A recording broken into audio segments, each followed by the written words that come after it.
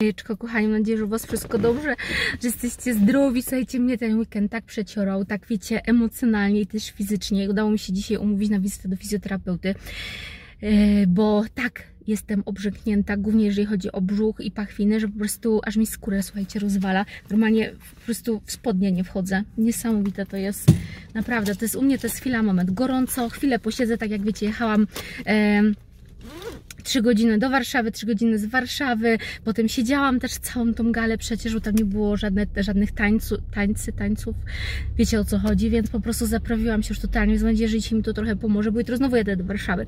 Na ten wywiad, co Wam mówiłam, do takiej stacji te telewizyjnej, mm, e, takiej internetowej stacji telewizyjnej, e, więc e, miałam jechać samochodem, ale jadę jutro pociągiem, żeby jeszcze, wiecie, trochę pochodzić, stać, żeby po prostu nie siedzieć znowu jutro 6 godzin w samochodzie, bo już się, już się zaprawię totalnie, ci co mają obrzęk, to wiedzą, jak to jest po prostu, to jest chwila, moment, naprawdę i po prostu pff, nie wiadomo skąd obrzęk się pojawia. Um, oczywiście nie wiem, jak mam się ubrać, prawda, standardowa, już Wam tu nie truję, nie wiem, tak przyglądałam, jak tam ludzie chodzą ubrani, więc chyba pasuje iść marynarce. E, no, e, obciasy, obcasy sobie wezmę do torebki, znaczy w sensie nie na nogi, tylko do torebki, tam przebiorę i będzie git i trochę się, wiecie, stresuję, bo mm, ja, e, jeżeli chodzi o przemówienia takie publiczne, to ja jestem bardzo słaba, bo mnie widać, że się denerwuję, zacina mi się głos, robi się czerwona i ogólnie nie wygląda to dobrze. I powiem Wam, że na przestrzeni kilku lat miałam kilka też propozycji, żeby wystąpić i opowiedzieć o swojej historii, ale zawsze rezygnowałam, bo sobie myślałam, najważniejsze, co Ty teraz możesz w swoim życiu zrobić, to jest spokój, to jest dbać o to, żebyś nie miała żadnych stresów. I zawsze z tego rezygnowałam, bo jak sobie to dawałam na szali i sobie myślałam, yy, okej, okay, Twoje zdrowie jest ważniejsze, ale tutaj rozmawiałam z panią, e, chyba właścicielką tej całej stacji telewizyjnej, była tak przymiła, tak sympatyczna i powiedziała, że jej tak zależy, żeby moja historia gdzieś tam dotarła do większej grupy pacjentów i tak dalej, e, jako taka motywacja. I tak sobie myślę, dobra, spróbujemy. Najwyżej jak będzie fatalnie, to to tego nie wymitują, bo to nie jest na żywo, prawda? A jak nie, to już mnie nigdy, nigdzie nikt nie zaprosi, albo ja nigdzie, nigdzie, nigdzie, nigdzie, nigdy nie pojadę. E, no i tyle, no i tak do tego podchodzę, staram się, wiecie, psychicznie e, siebie motywować. Będzie jak będzie, słuchajcie, no e, jedni po prostu pięknie przemawiają i po prostu czują się jak ryba w wodzie na scenie i tak dalej. U mnie jest odwrotnie, dla mnie to jest największy stres po prostu mojego życia. Dobra, idę, bo o, jak tu gorąco.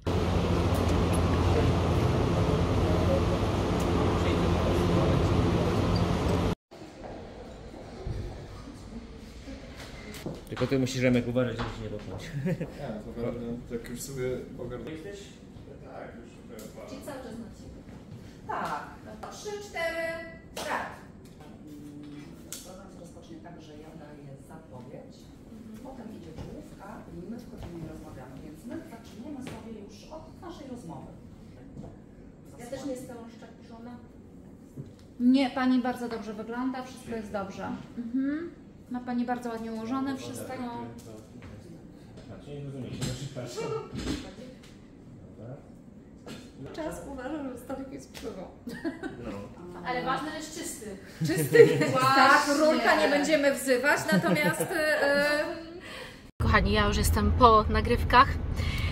Powiem Wam, że było bardzo sympatycznie i pani e, prowadząca, i pani, e, która jest, jak to się mówi, prezesem, e, producentem, przepraszam, producentem, przemiłe, przesympatyczne panie, także e, dzięki nim, wiecie, trochę się uspokoiłam, bo byłam taka zestresowana, powiem Wam, cała jestem po prostu zgrzana. Tak się napiłam, ale potem mi te nerwy trochę zeszły, więc myślę, że e, fajnie ta rozmowa wyszła i no i potem Wam za, zaproszę oczywiście na ten kanał, podobno w następnym tygodniu już będzie e, rozmowa ze mną, także wracam szybko teraz do domu z Warszawki. No powiem Wam, że całą noc nie spałam, ani dzisiaj, ani wczoraj, po prostu takie miałam jakieś takie stresy, no nie takie, że też zawsze mega stresują, ale Pani mówiła, że dobrze wyszło, wszystko nie było tak widać, że jestem zestresowana, także było, no zobaczymy. Zobaczcie, kompociki wczoraj zrobione, mój Dawid zrobił. Eee, ja nawet palcem nie ruszyłam, słuchajcie, we wczoraj mam taka wykończona, że po prostu padłam, po prostu padłam. No, ja też w ogóle powiem Wam, nie lubię kompotów, więc to raczej jest dla, yy, no też na przykład jak dla gości, jak przyjeżdżają, wiecie, tak do obiadku, yy, bo ja jestem totalnie nieowocowa. Dla mnie owoce mogłyby zniknąć z powierzchni ziemi. Dajcie znać, yy, czy Wy jecie yy, owoce, czy lubicie owoce. Hejeczko, kochani, już Was witam dnia następnego. W ogóle nie mam statywu, bo zostawiłam w Warszawie, więc muszę dzisiaj pojechać, bo na razie e, zrobiłam jakąś tam konstrukcję. Ja słuchajcie, wczoraj chciałam się jeszcze odezwać, ale normalnie padłam. Ja byłam tak wykończona, tak po prostu jakoś zmamlana. E, tak mnie ten wywiad mm, e, w telewizji zestresował. Mam nadzieję, że dobrze poszło. Panie prowadzące e, były przemiłe i pani producentka i pani właśnie prowadząca mm, też wprowadziły taką, wiecie, fajną atmosferę i tak mnie odstresowały, mm, że myślę, że nie było najgorzej, ale co się nastresowałam przed, e, to moje. Ja powiem Wam, że ja tak mam, po prostu ja tak mam, żeby cokolwiek by się nie działo, czy ja na przykład, nie wiem, następny dzień rano jadę na wakacje, e, czy mam jakieś spotkanie, to ja, ja już po prostu źle śpię, ja już mam emocje, ja już czuję i tak dalej, em, to w ciele i powiem Wam, że po prostu tak ciężko musiałam walczyć e, z moim po prostu niestety niskim poczuciem wartości przez ostatnie dni. Po prostu co chwilę nachodziły mi takie myśli, e, że czy ja jestem godna w ogóle, żeby, żeby mnie zaprosili do takiego programu, czy ja mam coś ciekawego w ogóle do opowiedzenia, Em, a jak się pomylę, a jak się będę jąkać, a jak będę źle wyglądać, a jak wyjdą mi plamy na szyi,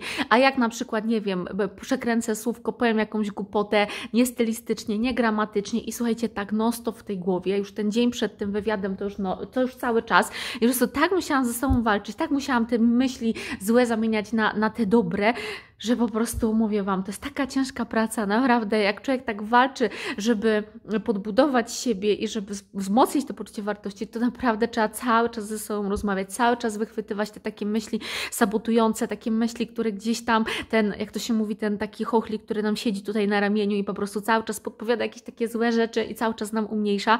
No, ale myślę, że całkiem dobrze wyszło. E, także mówię, było przesympatycznie, myślę, że dobrze wyszło, jakoś tak się trochę odstresowałam. E, dwa razy oczywiście bym się popłakała. Jak będzie wywiad, to ja Wam oczywiście dam znać, bo mm, mam nadzieję, że e, będzie e, ciekawy. E, no i że też trafi do osób, które e, chciałyby pewne rzeczy usłyszeć, które może zaczynają leczenie. E, no, także po tym wywiadzie od razu, słuchajcie, pędziłam do dołu. Ja...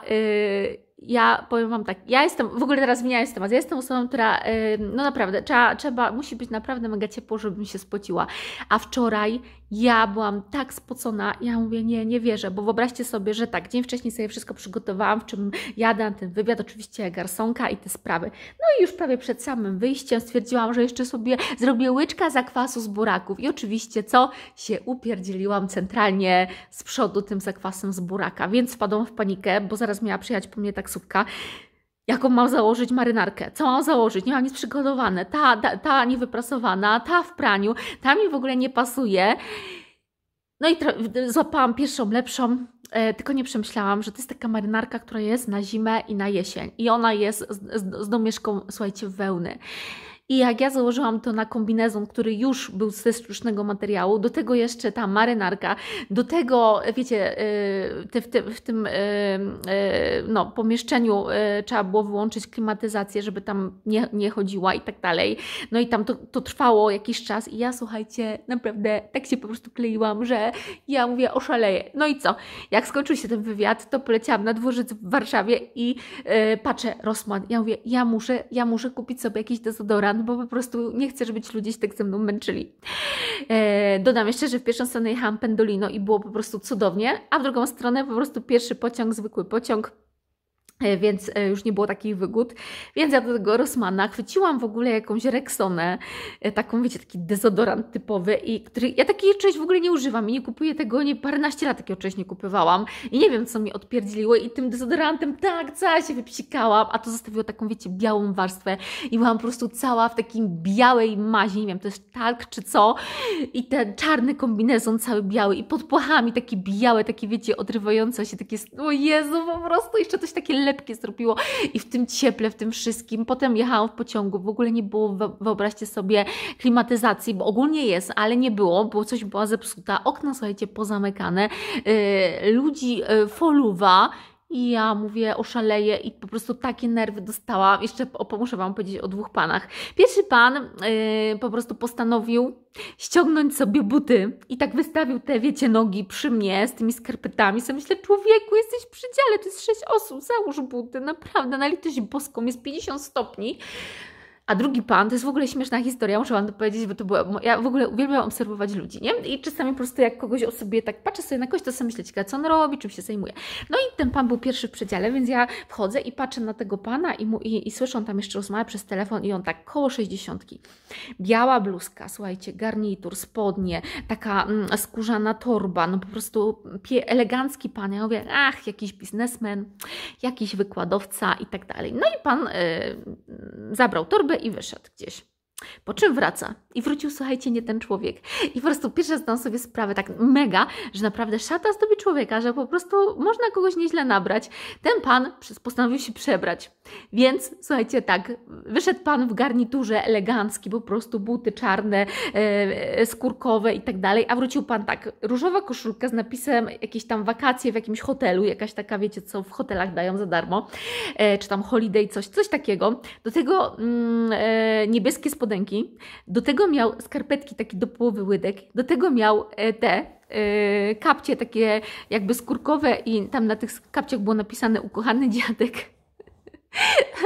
No także po prostu. No i potem pan stwierdził, że to jest świetny, świetny czas, żeby zacząć jeść. I najpierw wyciągnął sobie jakąś zupę rybną.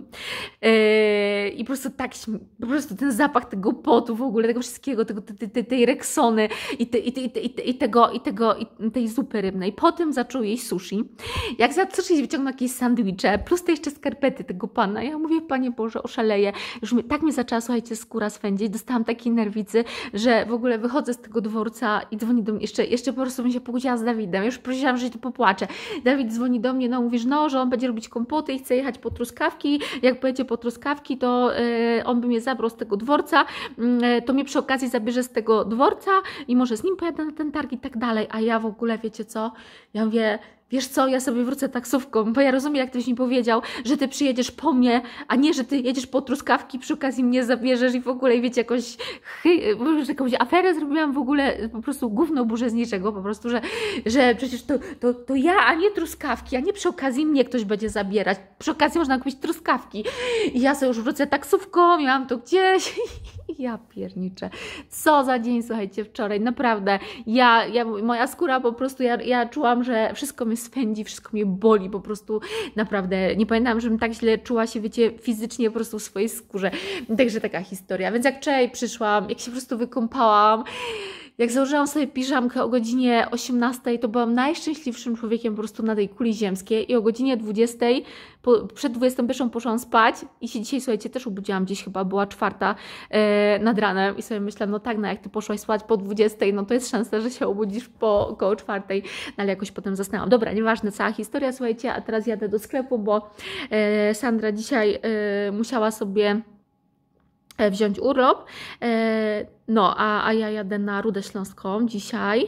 A Lilula, Liluś, kto się dzisiaj zażygał jeszcze? Kto się dzisiaj zażygał? Kto na dywan się zażygał? Kto się zażygał? No kto? No powiedz pan ci kto? Kto jest takim urwilkiem? Tak? Kto jest takim urwilkiem? Tak, a potem ja sprzątałam, a ta stała i patrzyła, co ja tam robię, co ja tam robię. Tak, moje kochane. Dobra, jadę, kochani, także tak opowiedziałam Wam, słuchajcie, e, mój dzień wczorajszy w skrócie. E, w sumie teraz z perspektywy czasu ten, ten powrót był śmieszny, e, bo jeszcze, jeszcze taka upierdzielona w tym białym talku, cała, słuchajcie, szyja, wszystko, cały kombinezon, po prostu pięknie wyglądałam. E, także tak, kochani, no, jadę.